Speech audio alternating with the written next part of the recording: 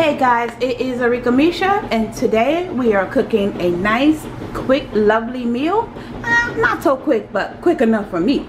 So, alright, today we are doing, I've got my shrimp back here. As you can see, I got butter and garlic already on the shrimp. And I've got some tilapia fish.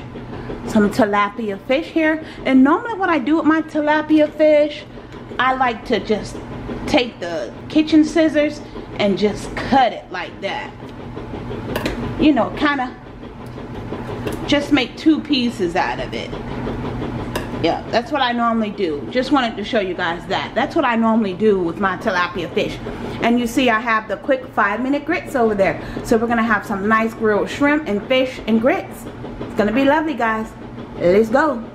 Okay guys, I'm back. I just wanted to come and show you how I'm going to be cooking the shrimp and the fish the tilapia fish. Um, as you guys can see, I've got my shrimp with some butter, garlic. I mean, it's just all nicely seasoned up in my little Gotham cake pan or whatever you want to call it. It's a pan. You can use it for whatever you want. So this was perfect for my shrimp, so I put it in there. Um, you guys can see, like I said, garlic, butter, all kind of goodness in there and my tilapia fish back there. I cut into two pieces, you know, make it easier for the girls to eat. Um, so I seasoned that. You guys see my seasons over here. I left my seasons out so you guys can see what I used. Um, zoom in over there on those guys. I use the regular Old Bay garlic salt. I use the Old Bay Blackened. And you guys know who that is. That's the star of the show, parsley flakes. So yeah, that's what I use guys to season everything up let me zoom out a little bit sorry about that guys okay so you guys can see the fish is all nice and seasoned over there. Looks amazing. Everything smells so good and fresh. It smells like a seafood market in here. So all right guys i'm gonna go ahead and get these covered with aluminum foil. I am gonna cover these with aluminum foil today.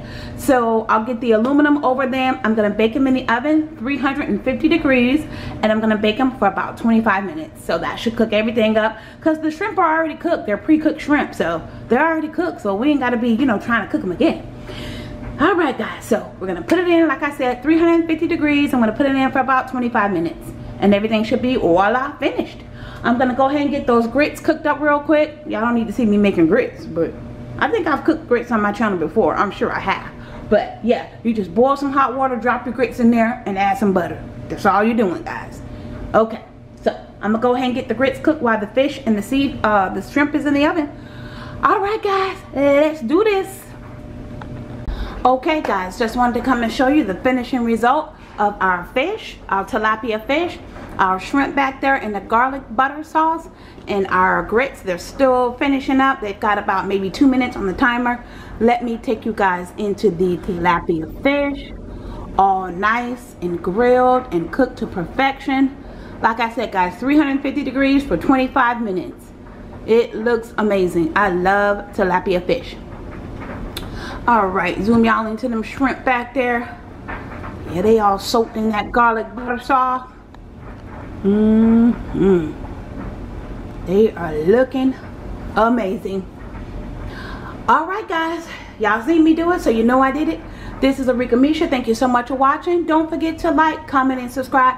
Follow me on all my social media guys at Arickamisha. And don't forget, knowledge is power. Thanks guys. Bye.